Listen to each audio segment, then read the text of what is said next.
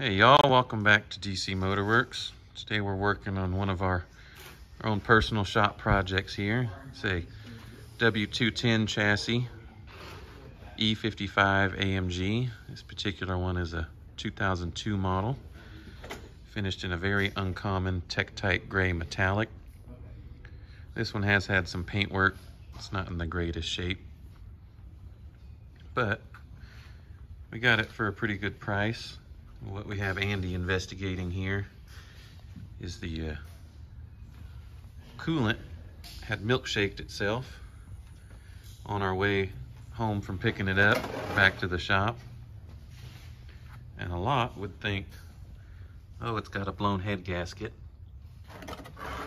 But that's actually very, very, very uncommon on the 113 engine here. And more commonly, what you'll see is the oil cooler here. There's two gaskets in between there that can leak. And that will mix your engine oil and your coolant. However, when this was bubbling over, you could smell it even still. It smells more like transmission fluid. So we checked the transmission fluid and it looks just like this nice chocolate milkshake you see down here. So this is one of the radiators that has the transmission cooler built into it. This was actually a very common issue back in the early 2000s, late 90s with a lot of these radiators. Not particularly in this model as much. coming coming back again. Yes, but it has oh started to return. 207s, 212. So in about 2010 it was about when those chassis both started. That would be your E-Class sedan, E-Class coupe convertible from about 2010 till 2016, right around there. Starting to see a few of those return, but this was more common on 203, 209, C-Class, CLK back in the early 2000s. But unfortunately, it has happened to this one. And as we found out, this radiator is no longer available from Mercedes-Benz. There are a few vendors that say they may be able to get an aftermarket one, but one of them is over $600 and the other one's over $1,200. And for a driver car like this, we're not interested in doing something like that. This one's been replaced. You see the Behr brand, but over here they ground off the Mercedes star. That is very common on what we call OES or original equipment supplier parts that you end up getting the actual factory part and they just take like a Dremel or something and they'll grind off the Mercedes-Benz star and part number. A good way to check if you have one of these affected vehicles is you can look for the manufacturer of the radiator. Valeo is the manufacturer that had the big issue with these transmission coolers leaking into your coolant.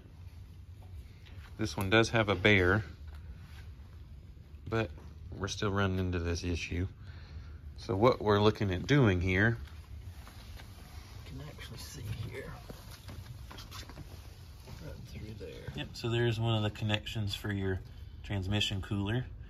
So what we're looking at doing is blocking these off and running an external transmission cooler. So we'll connect that to the factory transmission cooler lines.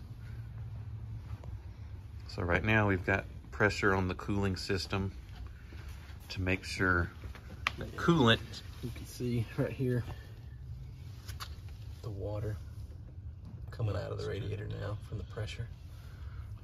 So what we'll have to do is create a block off to keep that from leaking.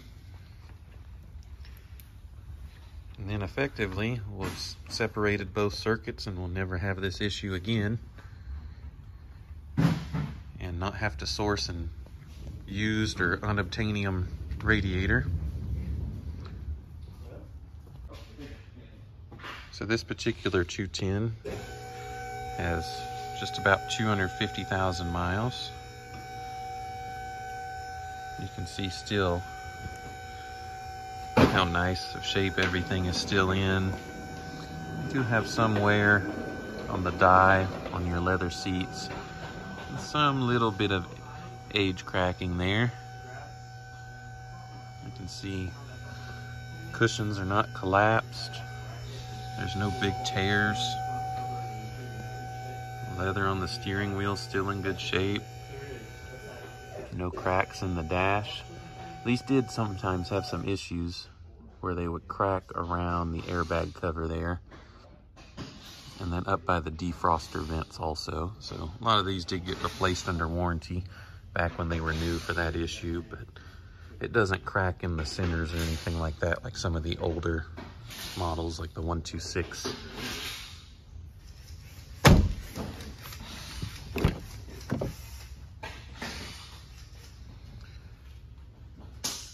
Rear seat almost looks like it wasn't ever sat in. do have the clip for the headrest cover there has come loose, so we'll take care of that.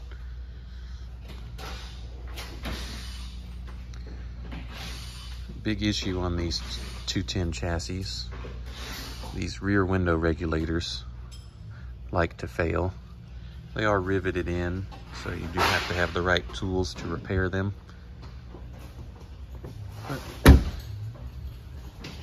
Beyond that, these cars were very common to rust.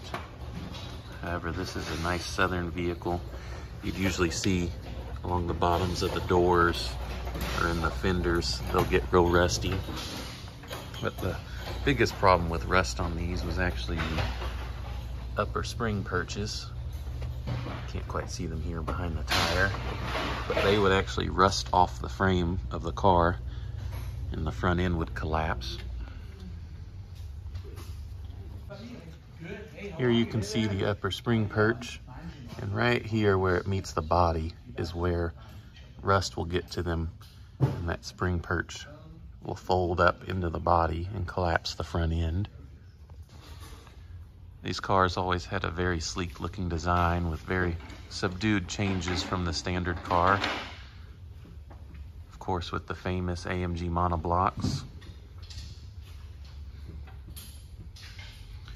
See this model does have a resonator delete. It's a little loud for our taste, but it does sound very good.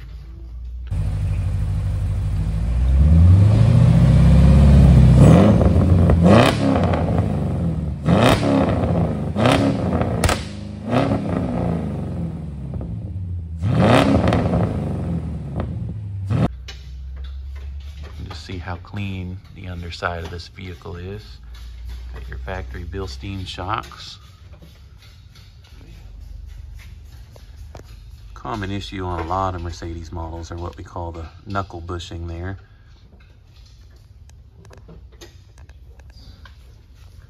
Your flex disc, no cracks. There's a rubber disc that connects the drive shaft on both ends. You do not want one of those to come apart. Very common on these as well are the secondary catalytic converters.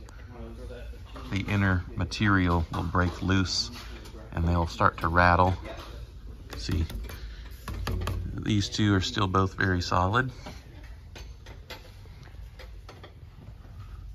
Got our 722.6 five-speed transmission here that you about can't kill see one of our very common 113 leaks here. The rear main is just starting to leak. This one actually isn't too bad considering what most of them are. But this one does have the oil level sender. It's leaking pretty good. That is this guy right up there. Has an O-ring on it, dries up and shrinks, and it'll start leaking oil real bad. A lot of people think it's the oil pan itself but it's usually not. However, you do have to remove the oil pan to remove the oil level sensor and replace that seal. Here you can see where we have our trans cooler lines disconnected. Coming up with a solution here.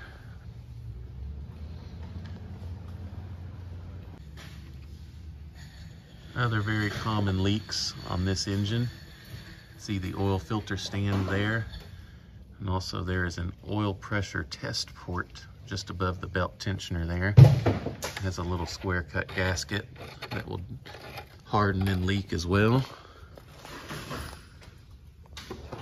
But that's really about all the maintenance you have to do on these engines.